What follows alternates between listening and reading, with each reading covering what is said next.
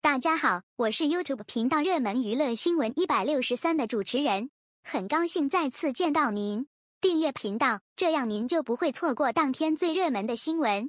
这是今天的新闻：流量标签成笑柄的时代，街舞四的舞者却这样评价王一博。娱乐圈变天了，不再是流量至上的规则。清朗行动时至今日已经很有成效了。尤其是在中秋晚会之后，相信大家都感受到了其中的变化。以流量为主的湖南卫视，曾经每年的中秋之夜都是收视担当，如今不仅与央视中秋晚会无法比较，就连河南卫视都给他上了一课。很明显，流量不再是圈内人趋之若鹜的标签，但对于的的确确是拥有流量的艺人来说，现在正处于尴尬期。比如王一博，王一博很小的时候就成为了练习生。如今也不过才二十四岁的他，已经出道七年了，甚至是很多比他还要大的艺人的前辈。经历了多年练习，籍籍无名也不被人看到，就连跳舞都是在没有灯的角落里。可即便在那种情况下，王一博从未放弃过自己的梦想。也许当大明星并不是他的目标，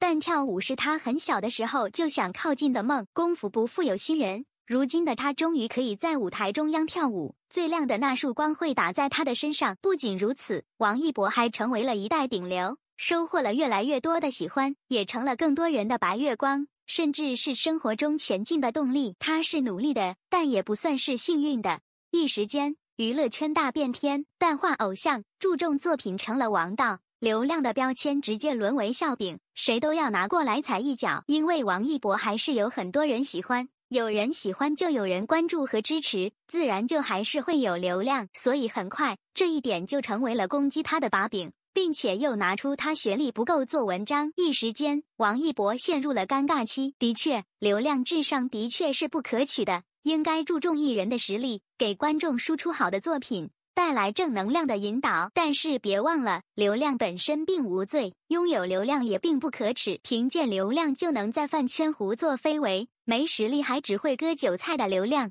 才应该是被大家质疑的。最近，《这就是街舞》第四季正在热播，王一博作为队长之一，一直拥有不错的话题量。为王一博而去看这档节目的观众有很多。因为王一博而更了解街舞文化的人同样不在少数，在节目中与王一博直接接触的当然是参赛的舞者们，其中有一位叫 Zen 的舞者，最近转发了王一博的宣发动态，并且说了这样一句话：“我真的很尊敬你，能让舞者尊重的队长，一定有能保证一点，那就是舞蹈能力不是表面功夫。”不少舞者都曾说过，并不觉得明星会跳街舞，但是现场看过王一博之后。不仅对这个二十多岁的大男孩竖起了大拇指，而且还可能对娱乐圈的看法也发生了巨大的改变。王一博对街舞的追逐，很小的时候就开始了，一直在努力。即便现在的工作让他不能拥有大把的练习时间，正处于尴尬期的王一博身上的流量要被拿过来诋毁，